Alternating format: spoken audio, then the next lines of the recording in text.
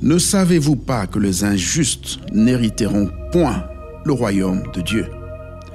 Ne vous y trompez pas, ni les débauchés, ni les idolâtres, ni les adultères, ni les efféminés, ni les homosexuels, ni les voleurs, ni les cupides, ni les ivrognes, ni les, outrageux, ni les ravisseurs n'hériteront le royaume de Dieu.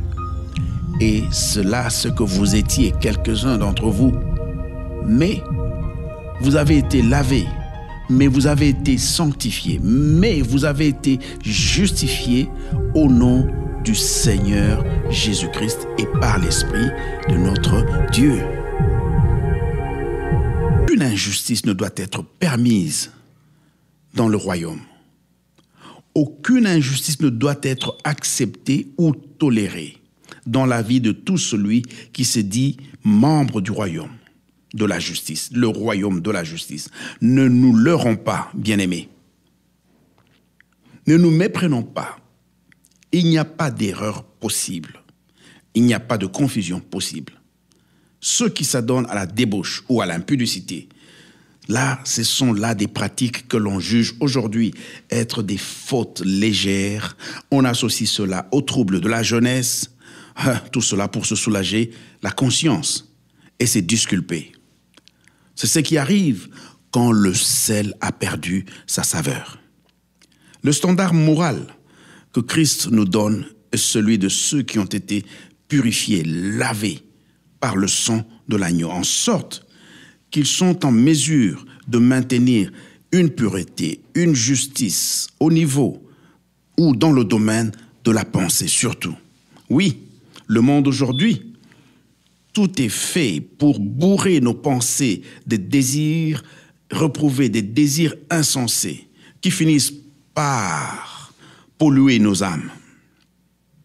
Ne le sont pas le monde aujourd'hui, polluer nos âmes. Les idolâtres ne sont pas seulement ceux qui se courbent ou se prosternent devant des statuettes faites des mains d'hommes, non.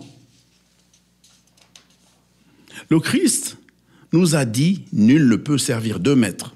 La course effrénée aux, acquisitions matérielles, à, l'argent, la soif de l'argent démontre à suffisance combien nous, nous, idolâtrons maman.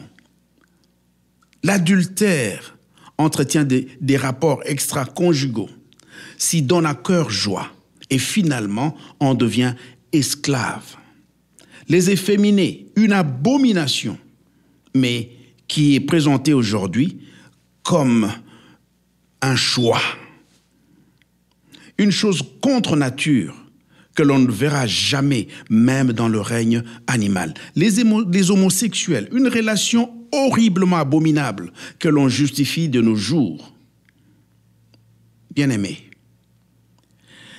ces choses auraient par le passé dominé nos vies, mais pas à présent parce que nous avons été lavés, sanctifiés et encore plus justifiés au nom du Seigneur Jésus et par son Esprit. C'était là le pasteur Martin dans le pain du jour.